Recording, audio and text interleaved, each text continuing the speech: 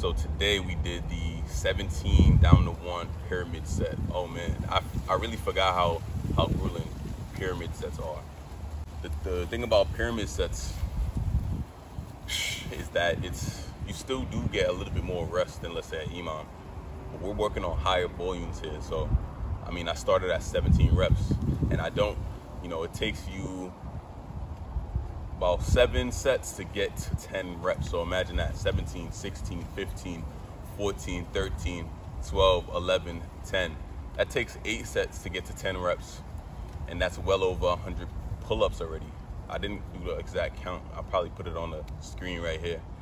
But the exact count is definitely over, you know, 100, probably over 125. I don't know if it's over 150, but we're gonna do that math. So with that being said, I still, still being at his endurance, I was working with a, a minute 30 seconds rest in the beginning few sets. So a minute 30 seconds, I still feel like that's a hypertrophy range. People, people will tell you one minute to two minutes, or even if you want to push it a little, you know, you can go to 45 seconds or maybe two, you know, to two minutes for hypertrophy. Um, but in the same token, of course, we need to build muscle to be able to do more reps, but at the same time, we're working on doing them fast. So I incorporate drop rest into this routine as well.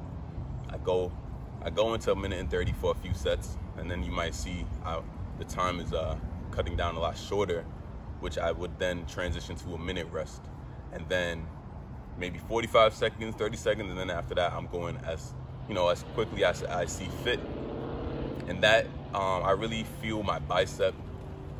I feel I feel my biceps a lot. It feels like your arms want to kind of fall off every time you get off the bar, you know. And that feeling definitely is very different from strength training. So it's cool to get the best of both worlds doing this style of training. And I am happy that I completed the set. I, the previous I did 16 down to one, and this time I did 17 down to one. I had a time limit. I had a time, you know, goal that I really wanted to work on, which was 25 seconds, or is 25 seconds. 25 seconds. 25 minutes in total, okay? When you're doing higher rep ranges, of course, it's gonna take you a little bit longer. You know, eventually, once I get more proficient at my pull-ups, this set I'll probably be able to do it way faster than whatever I get today. So, very interesting very interesting, higher volume than EMOMs, but still eventually, you know, still working on hypertrophy to endurance ranges. So we're still getting the best of all worlds right now.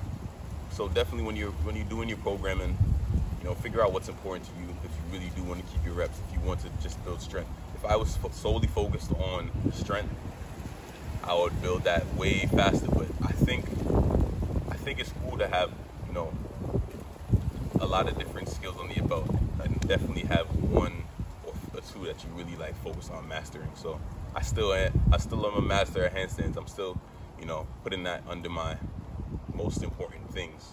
But everything else still needs to be good. Um, with that being said, I know this video is going to be a bit longer than probably like 10 minutes, right? Because if I'm still cutting out the reps, the rest times, it'll, it'll be shorter. But at the end of the day, it's power over vanity at all times. Keep pushing. And yeah, we just we're gonna keep this consistent. So eventually the goal is gonna be the 20 down to one, right? And then definitely would eventually start to add weight to the vests. And, and then I'll eventually add different variations. So I really want to start working more chest to bar.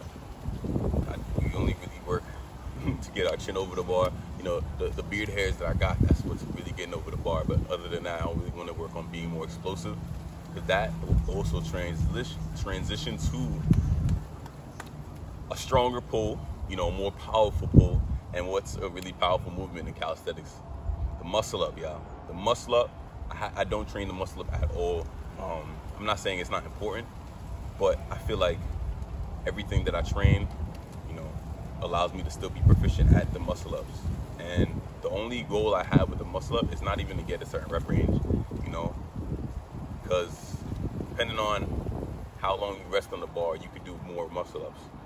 I've done 20 muscle ups straight. If you guys saw that video about two years ago when we did a, a pizza challenge, me and Islam. We ate a whole pie. we did muscle ups to push ups or push ups to muscle ups, one or the other. I did 20 straight, but I was able to rest on top of the bar. So that's not really important to me. The, what's more important is me being able to lift weight when I'm doing muscle ups. So weighted muscle ups would be a goal of mine. And then the cleanliness of it. So I, I want my legs to never move when I do my muscle ups. So that would also mean that I need to have a strong pull and I need to have a high pull, explosive pull to be able to get over that bar and with no swing whatsoever. With all that being said, y'all, definitely stay tuned. And again, could even cool down with something like a ripstick.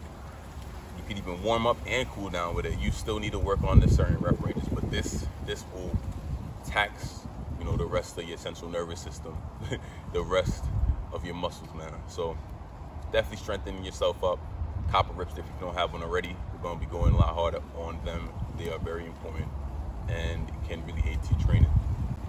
So many different implements that I'm adding, man, but it is for a reason. It's not just for the vanity, y'all. It's for the power. It's power over vanity at all times. Let's go.